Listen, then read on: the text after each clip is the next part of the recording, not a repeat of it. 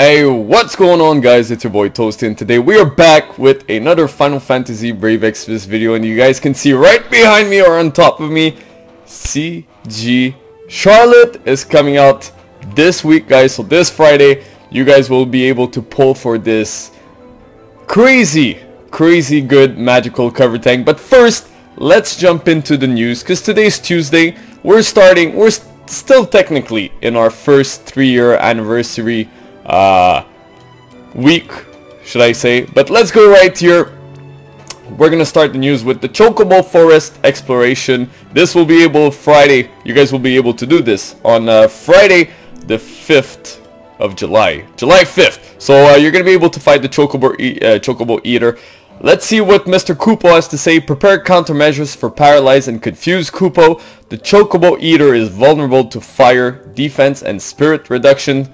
Uh, so make sure you bring your Xeno of the Beta Star or axe Star, and you guys will be able to destroy this boss. Beware as the Chocobo Eater uses an attack that can reduce half of your current health and reduce your status as well Kupo. Uh, mission reward, you're going to be able to get a 5% Moogle, which is always, always good. Uh, complete the quest, you get Chocobo Reins, which is an accessory, defense and spirit plus 15. Boost wind resistance by 30%. This thing is really, really good and boost HP by 20%. So that thing is pretty, pretty damn amazing. Then use no more than three items. You get 10,000 uh, seeds. So basically, this is good for the King Mog that's up right now. Deal fire damage two times or more to an enemy. Earth resistance by 20%. That's a piece of material that's really, really good.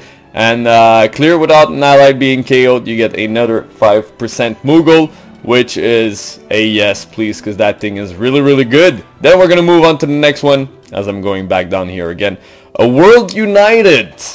So the story event for CG Charlotte and guys I gotta say she's amazing. I have some of her stats right here so if you guys wondering she's a magical cover tank. She's able to uh, uh, heal your party bring up the LB uh, LB gauge fill rate. She's able to um, mitigate the magic damage. She can buff your defense and spirit. She can break magic and spirit.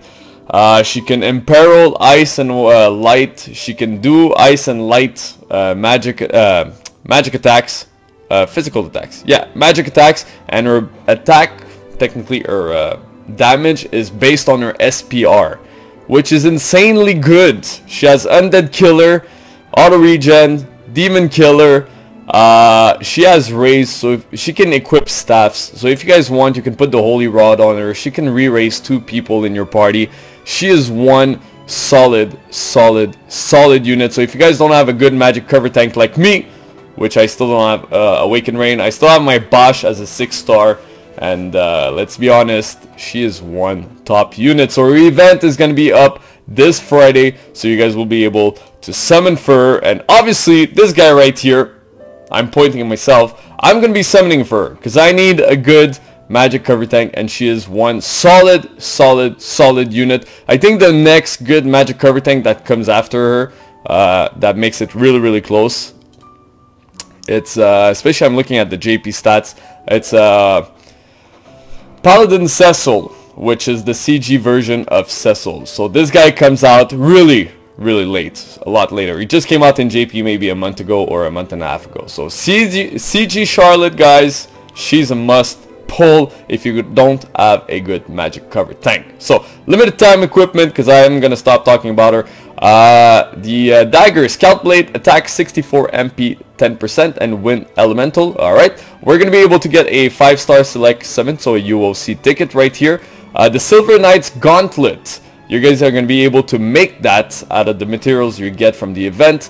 Uh, defense 20, spirit plus 30, it's an accessory. Boost ice and light resistance by 30%. And if I'm not mistaken, uh, she has a really, really strong light and uh, ice resistance that she can put up.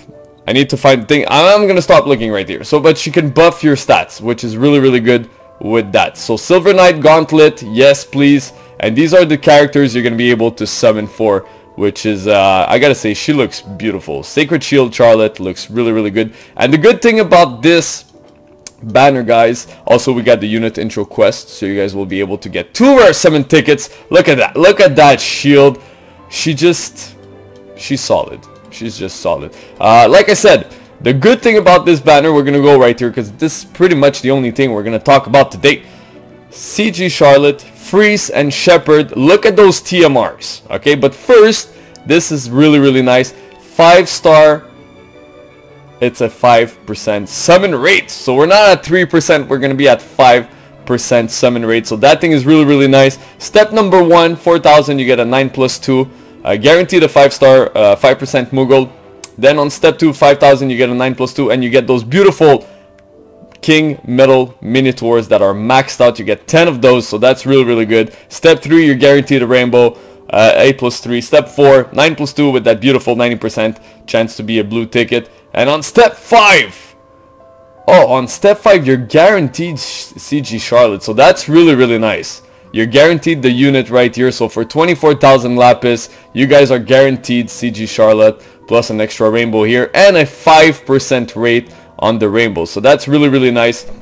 Let's go over CG Charlotte real fast. Uh, she got some global upgrades. We're going to see exactly what it looks like. But first, her Super Trust Master. It's a big, big shield. Honor of Grandshelt. Defense 68, Spirit 118. Boost Ice and Light Resistance by 50% and boost HP and Spirit by 20%. So that thing is really, really good. If you put the gauntlets on her, that's an extra 30%. So right here, she would be at 80% resistance to Ice and Light. That's so strong. Uh, her Trust Master, the Royal Circlet, it's an hat. It's an hat.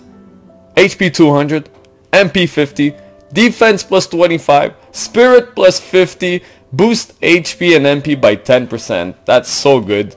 Uh, that's really, really good actually for her. Then her featured abilities, Light of Grandshelt. Every 5 turns, reduce magic damage taken for 1 turn, and boost light and ice resistance for all allies, and enables Divine Punishment and Freezing Punishment for 3 turns. Punishment, punishment, punishment. You gotta say with might and strong.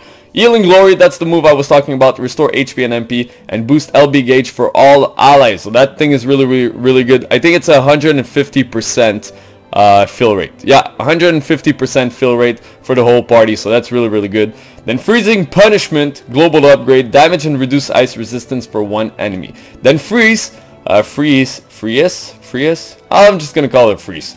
Uh, Trust Master, this is the beauty of it. It's a heavy armor, mind protector, defense 40, spirit plus 101. So that thing is really, really nice. Enables auto refresh, basically restores MP every single turn. This is strong. This is really, really strong. And even the 3-star unit, look at that. Trustmaster rewards Successor's Talent, boost HP by 15%, water, wind, and earth resistance by 30 percent So these things are actually really, really good. So if you guys get those characters, because you're going to be pulling, you're going to be doing the step up, you're going to be pulling those units. Trust me, those Trust Masters are really, really, really good. And so is the Super Trust Master. But for now, those Trust Masters right here for the 4-star and the 3-star are actually really, really good. And uh, I'm not going to say they're a must, but they're going to be really useful for uh, this girl, especially in the future fights when you're fighting a lot of magic damage. Then, uh, I gotta go right here in the uh, notices. Uh, was it maintenance? No. So everybody knows maintenance is gonna be up, but this is the one uh, I wanted to talk about it. Yeah, so basically they thought that the 64-bit was the problem for a lot of people. That's why their game were crashing or something. But let's read what they have to say because I'm pretty sure some people didn't read that.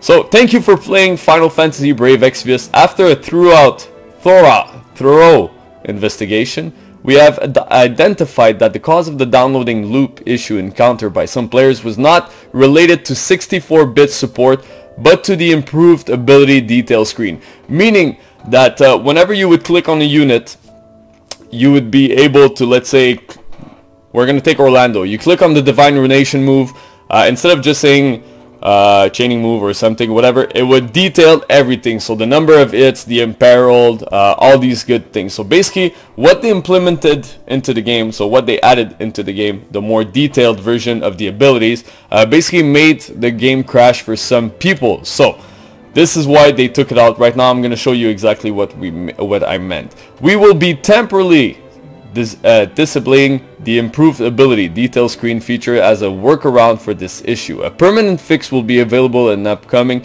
version update to be released by the end of July at the latest. The improved ability detail screen feature will be re-enabled in that version update. Compensation is being discussed and will be announced at a later date. Our humble apologies for the uh, for any inconvenience caused. Thank you very much for your understanding. Meaning, all right, we're gonna go here. Where's my boy Squall? We're gonna go right here. We're gonna use Squall so basically what they did last uh, Wednesday, when you would click, let's say on disability right here, I would go here, special, bam, I would click here. Now it writes just deal fire damage and reduce fire resistance for one enemy and add fire element to own physical attack, right? So before, on uh, let's say last Wednesday or Thursday after maintenance, it would write the number of hits, it would write uh, the imperiled, uh, the attack percentage, everything. So basically they had to remove that because it was causing the game to crash for some people and they're gonna add it back uh, maybe at the towards the end of July like they were saying on the update. Uh, am I mad about that? Absolutely not guys. It was such a big improvement to the game. Uh, of course it kind of it kind of sucks because they had to take it off but they were able to pinpoint the problem real real fast so that's really really good. So guys like always, let me know down in the comment section if you're going to be pulling for CG Charlotte, because I am. I got some tickets waiting for her. So CG Charlotte, and uh, yeah, let's get ready for the 3 anniversary, because this thing is getting really, really good. Getting really, really excited. Can't wait to summon for some new units. And uh, yeah, like I said, CG Charlotte, she's a boss. So guys, like always, please leave a like down below. Hit that little red button. That means subscribe, so subscribe for more content. And also, guys, I want you guys to have a beautiful day. Enjoy the rest of the day. And uh, that's pretty much it. I'm out. Peace.